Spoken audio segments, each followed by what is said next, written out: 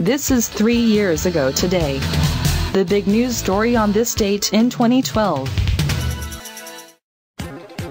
On September 7th, just a day after the Democrats ended their convention, GOP candidate Mitt Romney met with supporters. My five-step plan is designed to get the economy going. Romney charged the president's plans were simply more of the same.